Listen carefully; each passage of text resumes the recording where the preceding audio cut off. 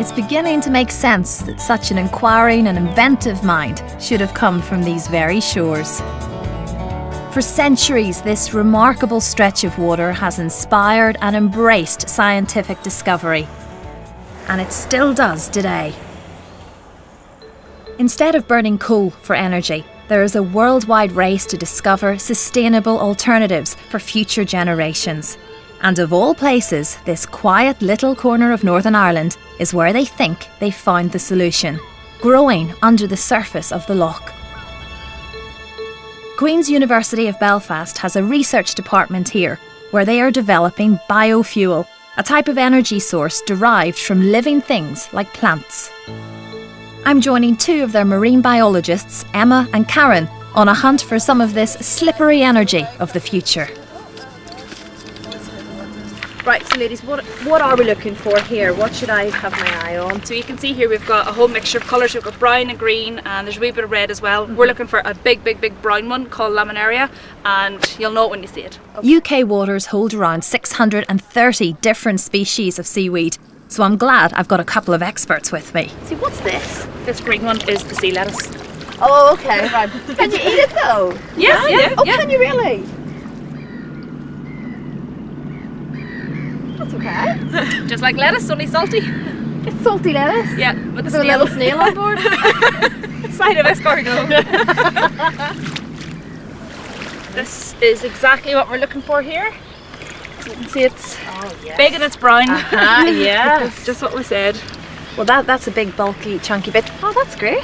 Sea kelp is a large variety of seaweed and is the perfect candidate for use as biofuel. It grows quicker than land crops and is five times more efficient at converting sunlight into chemical energy.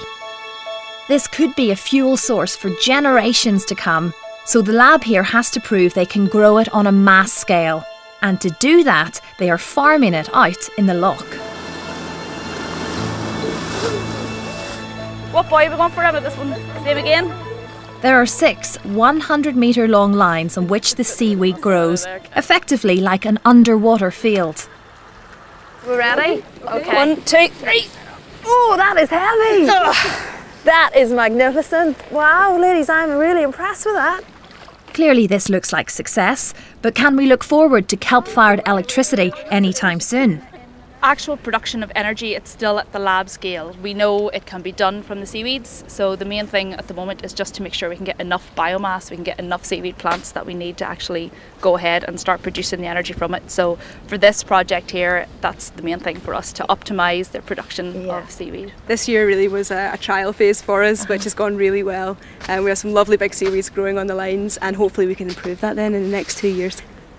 Once a month we come out and we take sections of the seaweed plants, um, we take them back to the lab, measure the length of them and the width of them, get the weight, and we take photos of the shape of them as well because that can change. Had a few scarves that have looked like that over the years, to be fair. The sea as a place to grow biofuels has some distinct advantages over farming land based alternatives like maize and sugar beet.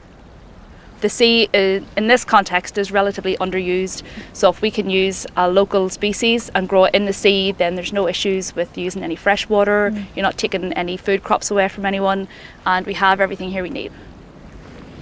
I love the smell. Yeah. I do. I love that. I love that. It's not too smell. strong, but it's No. just it's nice, isn't It it? is. Might go for one of these. There's certainly an awful lot going on in this lough if you bother to take notice of it. Ladies, I have to say, I'm going to look at seaweed in a whole different light. When I go to the sea from now on, I'll think of you too. Please do. I will. Even though I thought I knew this area, I've been surprised by what I've found on the shores, out on the water, and even under the surface. This loch has the power to fascinate and enchant those that live and work around it. And as for that magic I felt as a child, I think it's still there. And I've even found that I've a bit of an interest in seaweed. It's an unusual one, but I'm enjoying it, and I'm even enjoying this. Listen to this. It's like bubble wrap all over the beach. Fabulous.